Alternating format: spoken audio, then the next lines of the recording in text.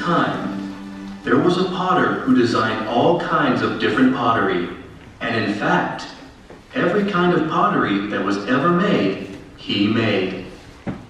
He was very proud of the work of his hands, and he loved each and every one of them. He knew every little detail of all the pieces he designed. There were never two exactly alike. Every time the potter would begin to create a new piece of his artwork, he would already have a plan in mind of what he wanted to use the pottery piece for once he finished it. The first step the potter took was to search for the clay that he could work with. He promises that whosoever is willing to be molded by him, he would create something beautiful out of them that he would use for his glory. Over here. I'm over here. I'm willing. Choose me. Choose me. The potter scoops up the potential clay and begins to examine it for impurities so that he could remove them to make it clean. Oh, that tickles. hey, what are you doing there? Ah! Hmm, that does feel better now that you took that stuff out. Once he finished cleaning the clay, he knew it was time to start to wedge the clay. Over and over, the potter wedged the clay, kneading it like dough. Ah! Hey, now what are you doing? Really, Mr. Potter, sir, I thought this was going to be fun. First you pick and prod, and now you're giving me the hardest massage I ever had. Just trust me. I have a plan. I promise I will work it out for your good and for my purposes. I will never leave you alone. Okay, if you say so, but I need to tell you this isn't what I was expecting. I feel like I'm getting beaten up. Ugh, did I tell you that that hurts? The potter continued to work the clay over and over until he could feel that the clay had a consistent density throughout it. He knew that any air bubbles left inside the clay, when exposed to heat, would burst out, weakening it and making it useless for the potter's purposes. All right, you're moving me off to a new spot. I hope this is easier than what I just went through. The preparation stage is finished, so the potter puts the clay on the wheel and it begins to spin. The potter keeps a bucket of water next to him as he works. He knows that the clay's natural tendency is to dry out very quickly and lose its softness, so the potter bathes it in his living water often. Ooh, now that feels cool and soothing. I feel like I'm, I'm getting a sponge bath. Ooh, mm, so much softer. Next, the potter's goal is to mold the clay to be perfectly centered on his wheel. As the wheel spins, the potter keeps his hands over the top of the clay, applying an even pressure until he feels the clay has stopped wobbling and is no longer resisting him, but resting in the center of his wheel. But before the potter is done, the clay begins to get bored. this is taking too long. I- I'm ready to get my shape now. Oh, wait to find out what I'm going to be. Maybe I'm going to be a beautiful vase to hold flowers. Hmm, or, or maybe a pitcher to serve iced tea. Oh, I just wish he would hurry up. Uh, I know. I don't need to wait for him. This shouldn't be that hard. I'll just pull a little this way. Yeah, that's it. Push a little this way. Yeah, it's working. I'm starting to grow now. This is looking like a good shape for me. The potter knows that if he begins to shape the clay prematurely before it is centered, the clay will become more and more off balance with time, and it will begin to grow in a direction it was not intended to. The taller the clay gets before it is ready, it could end up collapsing upon itself. Sometimes he has even seen the clay fly right off his wheel. Whoa! Whoa! Oh no! I'm out of control! I'm flying through the air!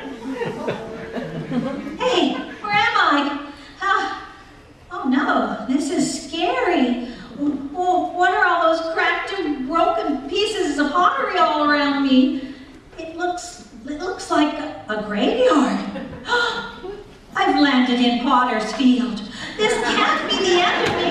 I, I can't stay here. Help! Help me! I, I'm over here. Mr. Potter! Mr. Potter! Please pick me up. Take me back. I'm so sorry. I should have waited for you. Here I am, you of little faith. Oh, Mr. Potter, sir, please forgive me and give me another chance. Are you ready to start trusting me now? Oh, yes, sir, Mr. Potter, sir. I need you to understand my plan for you is for good and not for evil. But you have to leave yourself in my hands and wait on my timing. I will not violate your free will. Oh, I will trust you. I promise. I promise. I am so sorry I tried to do this my way. I'll never do that again.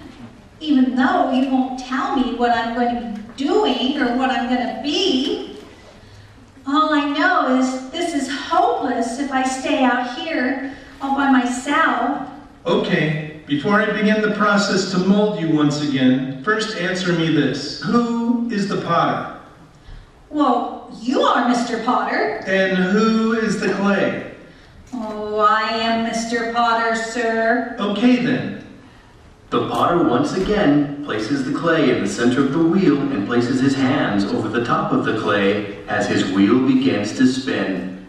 He continues to lean over the clay with an even pressure, pulling the clay up and down until gradually the clay stops wobbling. The clay has learned to no longer resist the pressure, but to just wait under the potter's hands in the center of his wheel. Okay, this is better. I think I'm getting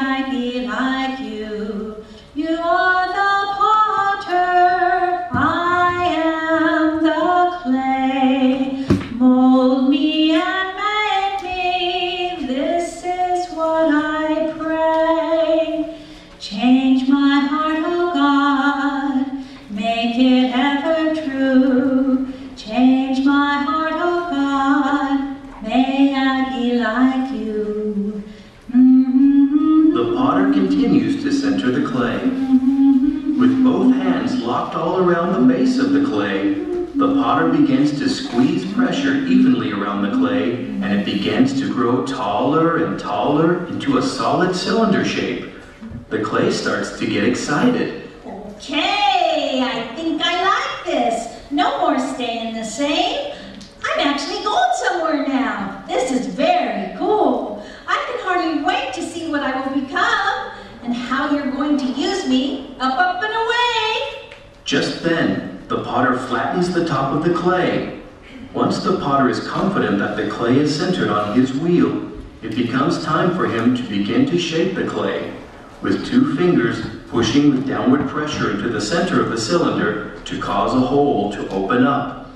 No! I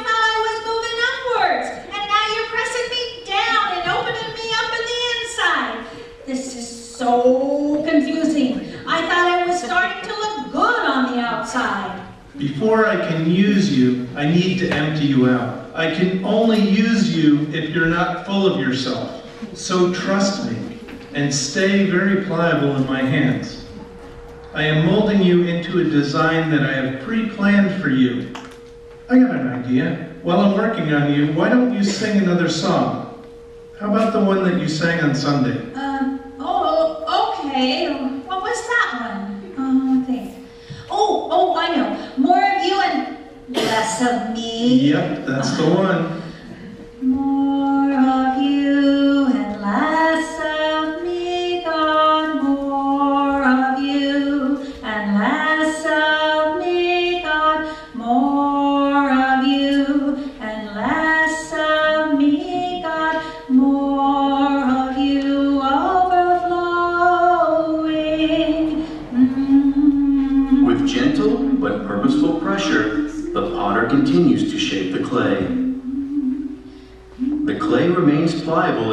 Potter's hands, trusting him as he develops it from the inside out. What a beautiful sight to behold as the details of the clay's design are formed. Finally, the clay gets a glimpse of what its purpose to serve might be. Oh, Mr. Potter, sir, I can see my shape now. You're making me into a bowl. How exciting! I wonder what you will choose for me to hold for you. Oh, there's so much potential now that I know what I've been designed to be. I can't wait to serve. What the bowl didn't know was first, before it could begin to do its job, it would need to be put on the shelf for a time and left to air dry. Ow! That hurts. What are you doing? I I was finally comfortable there. Oh, oh, okay, okay, I get it. You're, you're lifting me off, off the wheel. I, I must be done now. But wait, where are you taking me, Mr. Potter? Uh, Oh no, you're putting me up on a shelf? Why do you want me just to sit there? It must be time for me to go to work. Trust me, I am not done with you yet. I will not leave you alone. You need to just stay put for a while. Okay, you say so, but I have to tell you, I'm really disappointed. I don't want to just sit here. I want to do something. I'll let you know when the time is right and I'll pick you up again. You would crack if I didn't let you first rest a while. My concern is for you. Okay, but I don't get it. I, I thought you would be happy that I wanted to be used by you, but instead you put me up here on this quiet and lonely place. It's so quiet here. Well, I guess it's sort of nice. Rather peaceful. Peaceful and quiet. Oh, now I'm getting sleepy. Maybe I'll just rest a while.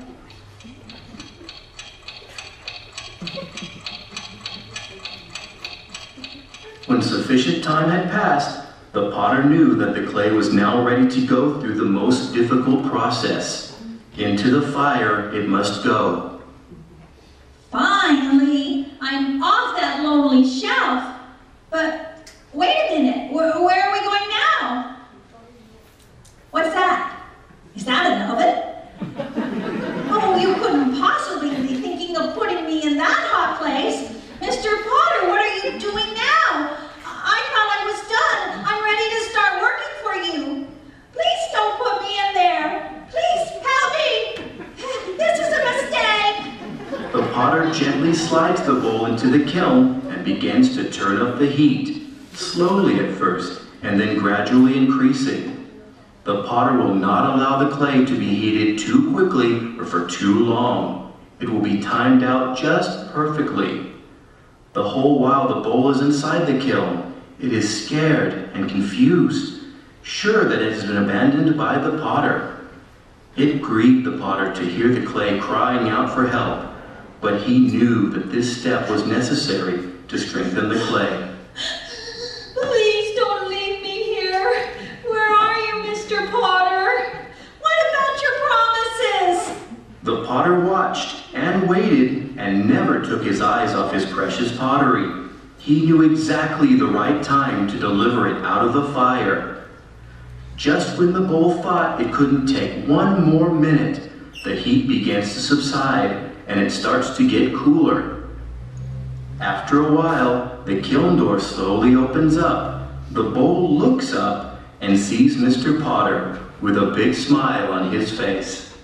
It is finished. I am proud of you. You are finally ready for that last step, and you are going to like this one, I promise. It will protect you from outside influences. So the potter seals the bowl with artistic strokes. Thank you so much, Mr. Potter, sir. Thank you for being so patient with me and taking me back. You have kept your promises. In your time, you made me beautiful.